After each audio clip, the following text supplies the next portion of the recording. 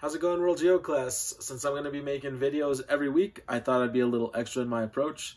So with that, welcome to the first episode of Sandoval TV. So to start off, I hope everyone's doing all right. Um, I know I've especially been eating a lot. Chipotle. Chipotle is my. Been sleeping a lot too, for sure. I think I ran out of things to watch on Netflix, if I'm being honest.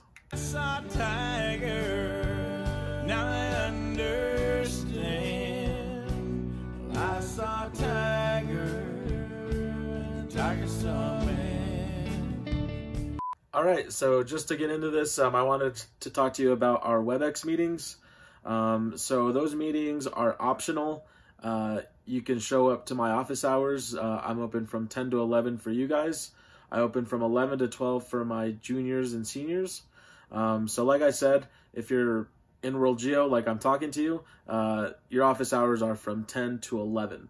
So if you ever have a question, you want to pop in and say hi, um, it doesn't even have to be about assignments. Um, it can be just saying what's up if you need somebody to talk to, um, anything like that, really. Um, I like to make myself available during those times.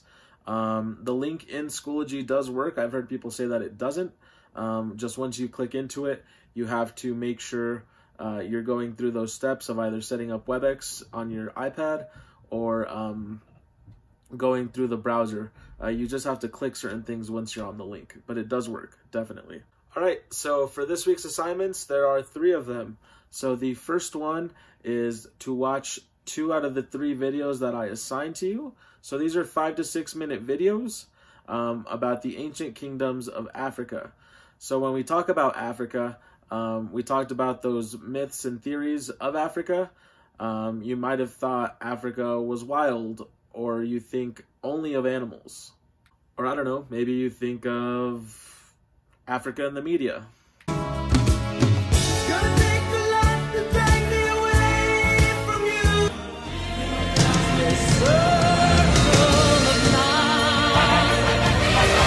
Either way, what I want you to take away from this, uh, whatever we can with distance learning, is that Africa is a place with rich, rich history, um, and just a lot of things going on, a lot of politics.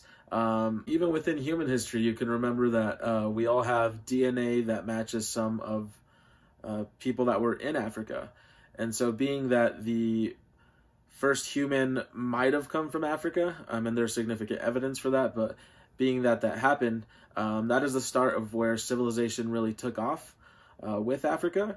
Um, and so, with that comes a lot of history. There's a lot of movement uh, because it started so early within Africa. Um, so, with that, uh, like I said, I wouldn't want you to look at Africa as um, kind of this lesser nation um, because we take a lot of power away from them when we do that. And so um, that's why I wanted, well, yeah, that's part of why I do these videos, uh, just to kind of remind you, and also so you're not just going through the motions of these activities. Um, there's meaning to why I assigned what I assigned, right?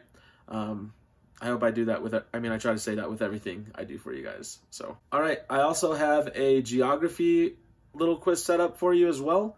Uh, so with that, you go into uh, Lizard Point, uh, you click on Africa, and in there, you're basically just playing with the maps. Um, and you can choose whichever Africa quiz you want to do. I just ask that you do it for about 15, 20 minutes. And uh, you write back to me how it went. If it went horrible, just tell me it went horrible. Um, if it went okay, maybe you remembered stuff from your map. Um, tell me that too. Um, this is not, I'm not measuring the, like how well you did on that. Um, I just want to see that you were trying to be familiar with the geography of Africa. Make sense? I hope so. All right, so I also added on uh, for you to look into some current events. So I'm asking you to go to Newsela. Uh, it's an app, um, and I actually just posted the link, so you wouldn't even have to go through that. But um, I want you to pick a current event, and it can be any story, so you have choice in that, uh, and just write a reflection on that event. Um, and it could be any of those stories from the link that I posted. So uh, that is all your choice. I'm just asking for a reflection back uh, and tell me what you read and what you thought about it. so that's it for this week. Um, once again, if you guys have any questions at all, uh, you can come to my office hours from 10 to 11 every day. Um, I'll be there. Um, that's pretty much all I got for you guys. You guys have a good day. Take care.